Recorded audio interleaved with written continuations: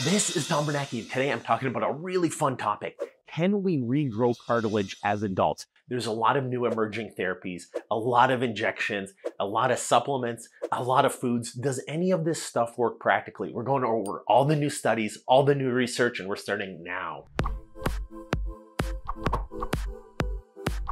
When I was a kid, I played football, and I remember thinking, I actually believe this, it's crazy, but I didn't know if injuries were real. I actually thought people were just faking injuries. When their knee or their hip hurt, I felt like I could take a million hits, and I never got hurt. I would get sore, but in like a day or two, I would always feel better. Wouldn't this be nice this is the dream of some of the emergent therapies, some of the emerging technologies. I've seen a ton of videos promoting some of this stuff. And in fact, in the comments, somebody attacked me over like red light therapy, polarity therapy, that I'm withholding this from the people. So I'm going to go over all this stuff now. This is for you that guy in the ankle video who's attacking me of not being with the times and not going with any of this cool fun stuff. On a serious note, listen, you as the viewers, I love you guys.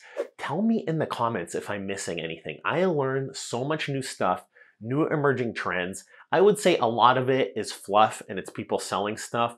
But sometimes people are doing really impressive things that help thousands of other people watching these videos. So definitely hit me up in the comments below if something works for you or doesn't work or I'm full of BS. Let me know. It makes a huge difference. Cartilage loss is also known as osteoarthritis there's a lot of studies. It's genetic, it's environmental, it's mechanical forces, it's a lot of stuff. I go over that in a few different videos. As we get older, our body falls apart faster. Age-related changes in cartilage lead to weaker, flakier, and less supportive cartilage. There's not much we can do about it, or can we? Cartilage loss is also known as osteoarthritis or degeneration. Our age is a big factor. Cartilage naturally undergoes wear and tear over time. So as we get older, on average, we're going to have significantly more osteoarthritis as we get towards the end of life. On the left-hand side is nice, healthy cartilage, whereas on the right, you can see there's jagged cracks, spurs, bone spurs that then rub and cause even more damage.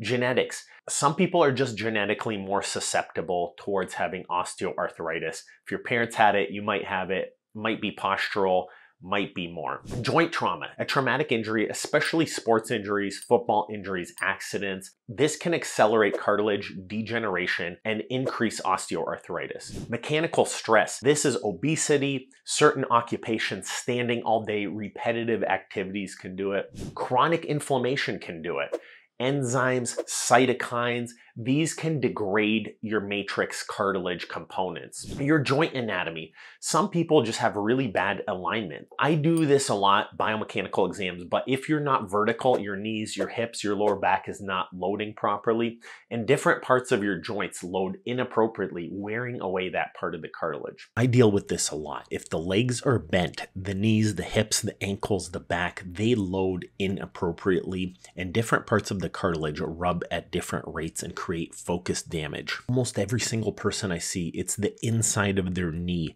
that has the damage because their knees buckle inward. And we'll talk about that at the very end hormone factors, particularly estrogen in women. I have a video on osteoporosis. If you're worried about that, watch that. But after menopause in women, your estrogen levels decrease and you're much more susceptible towards osteoarthritis, much more susceptible towards osteoporosis. There is stuff you can do about that. Check that below though. Obesity. This is one of the single biggest things. Chronic inflammation, obesity. We in the United States, Europe, the Eastern world as well, obesity starting to go sky high, not only from a weight and posture standpoint, but chronic inflammation that erodes away at your cartilage. Joint instability, such as ligament injuries or joint hypermobility. The cartilage in our joints is called hyaline cartilage. This is a smooth white type of cartilage found in joints. It has very limited capacity for self-repair in adults. And this is the holy grail. If we can grow back hyaline cartilage, this is what's gonna make us like kids again. Our joints are smooth, lack direct blood supply, they lack nerves, and they have less ability to regenerate. One interesting fact about cartilage is that it does not receive blood supply. It gets its nourishment from the synovial fluid. That's the fluid between the cartilage layers in between your joint capsule. That's called the synovial fluid. And as we get older, that cartilage has less capability to heal itself and can become more brittle. On the other hand, we have fibrocartilage. So minor injuries or small lesions, fibrocartilage can develop. Fibrocartilage can repair itself and provides some cushion, but is not as good as hyaline cartilage in most cases. And anytime we have to regenerate, it's not as smooth, it's not as even, it's not as high quality. A big criteria of healing is age. If we're younger, we have more stem cells in our joints. We have a higher metabolism. We have more stem cells in our joints. And this is the ability to regenerate our cartilage, make it healthier when we injure our joints, it does have a slight degree of ability to repair itself, especially when the blood fills into that cracked cartilage. It can repair, it can fill with some fibrocartilage. You can see here there was some damage and blood filled in, and now fibrocartilage formed a plug, but it's not the same as the cartilage surrounding it on top of the bone. But significant joint trauma or injuries if the damage to the hyaline cartilage it compresses, it breaks, it rips, that's beyond what our body can do. You can see with all this bone damage, it can't really fill in cartilage. The bone is deformed underneath the cartilage, and as this person's older, they don't have as great a blood flow. It's just very difficult to heal it and still keep walking. Number one treatment is surgical interventions. When cartilage is damaged, severe, or widespread, surgical methods include microfracture, drilling, abrasion arthroplasty.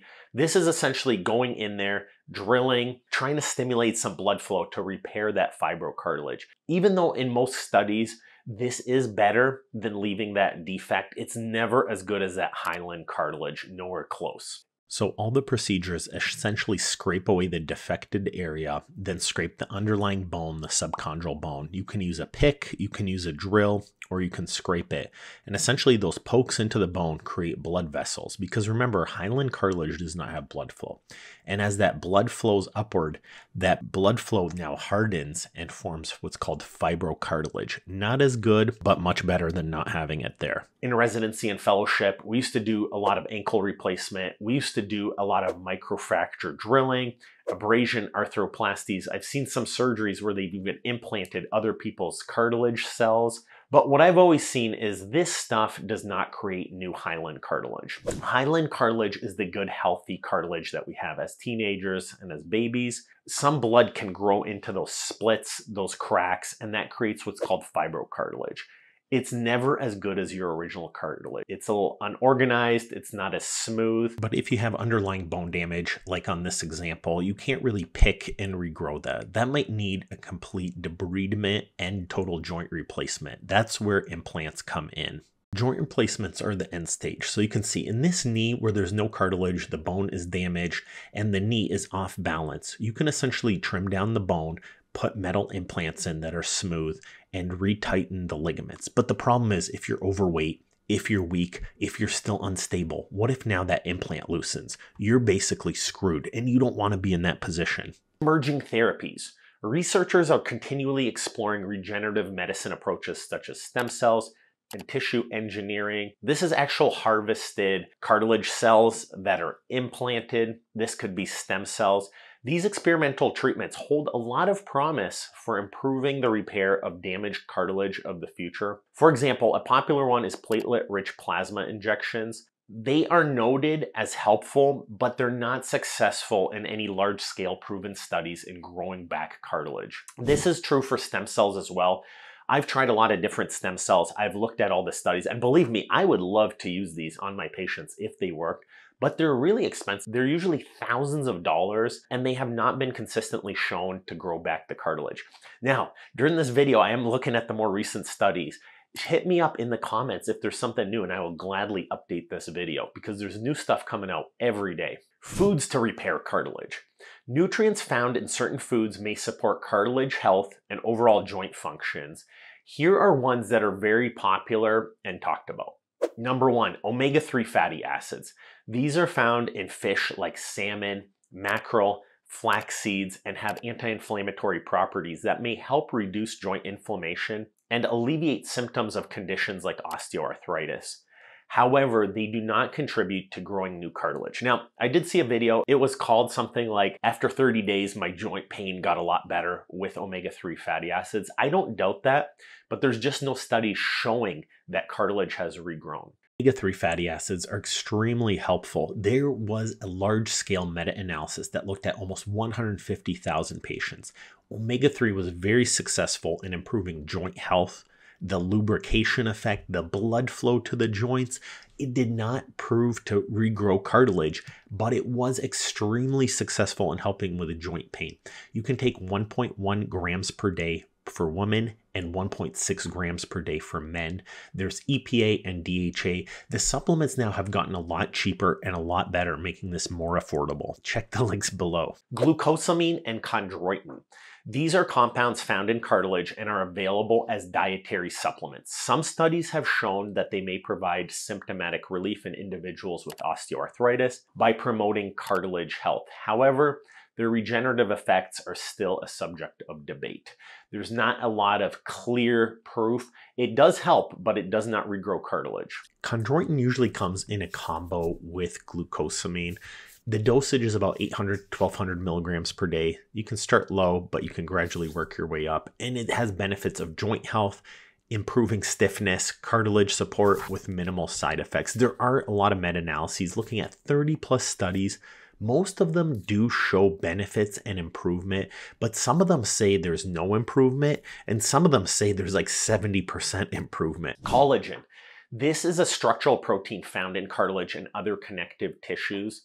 Collagen supplements may help support joint health by providing building blocks for cartilage, but there is no proof that they directly stimulate cartilage regrowth. In my osteoporosis video, I go over all the collagen supplements and these in detail. There's smaller level studies. There's nothing definitive showing that it will help grow your bone back at a high level or your cartilage back at a high level, but it does contribute to potentially helping the symptoms. Antioxidants. Antioxidant rich foods like berries, citrus fruits, green tea can help reduce oxidative stress in the joints. Oxidative stress contributes to cartilage damage, so a diet rich in antioxidants can help protect joint tissues. And this is where something like turmeric and curcumin comes in, because this is a strong antioxidant and strong anti-inflammatory. Curcumin, from this standpoint, can be extremely effective in reducing joint pain. And in fact, in my curcumin and turmeric videos, which I link below, there are so many comments about people saying, hey, once I started taking this, almost all my joint pain disappeared. These stories are much more promising than even some of the studies. And that's what I love about YouTube. There's just so many people watching. Tell me about your symptoms and outcomes. Turmeric is so well studied. There's literally hundreds, if not thousands of studies, which all come to the same conclusion. Turmeric can be just as effective as an anti-inflammatory, has anti-inflammatory effect. It's relatively safe, although I go over the 10 potential side effects, especially as a blood thinner. It can help thin the blood, which for most people is a good thing. Some people, not a good thing. Dosages are about 500 milligrams two to four times per day for your joint pain. There have been hundreds of thousands of patients studied in numerous randomized control trials. A balanced diet. The bottom line is there's so many different causes to osteoarthritis, like obesity, like genetics, like chronic inflammation, the enzymes in the joint, the joint fluid. And while you might not be able to grow back that cartilage, a healthy balanced diet with your omega-3s, your B vitamins, for example, all good healthy nutrition.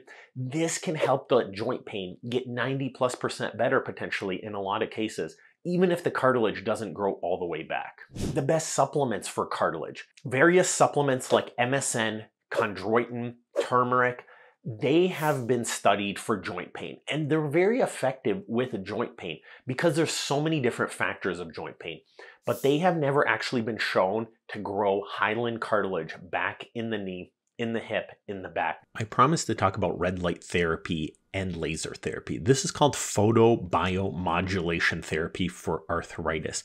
And believe it or not, there's actually some really good evidence for it now. I use this quite a bit in the office myself. There are a lot of studies showing increased blood flow, increased ATP production, which is energy in the muscles, potential gene modulation, enzyme modulation to decrease inflammation, and a decrease in inflammatory markers. So, red light therapy, there are a lot of different types, a lot of different wavelengths. There's some cheaper ones, there's more expensive ones, but overall, getting light therapy or laser therapy can help. So, in the office, I use laser therapy a lot. I also use shockwave therapy. I love shockwave therapy. This is relatively safe. There's almost nothing that can go wrong unless somebody's freshly injured and we didn't diagnose them properly. So, you want to make sure you get a proper diagnosis. But it increases a lot of those growth factors, decreases a lot of those inflammatory markers, leading to bone, tissue, tendon repair. So it can lead to a lot of improvements in blood flow and lets your body heal itself faster. At first, it feels a little bit weird and vibrates, but then it starts to feel really good, and almost immediately, you're a lot looser with better blood flow and feeling to the area. But this is the bottom line. No, we cannot regrow hyaline cartilage at healthy effective rates.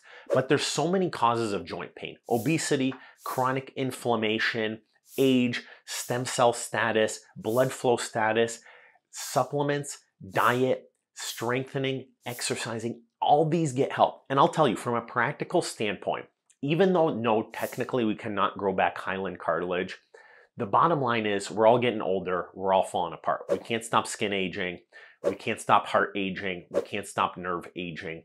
And just like that, we can't stop the aging of cartilage. We cannot be 15 years old again. That's the bottom line. But if we do these five things in order, I have seen so many patients have stronger joints, stronger hips, stronger knees. And these are people with bone on bone arthritis that have been told they need surgery. If they did these things, I have had hundreds of patients have almost all of their symptoms and pain go away. And these things, number one, most important, strength training. If you can get your hip, your back, your thigh, your calf muscle strength up, your tibialis anterior, there is no doubt you will walk much more straight.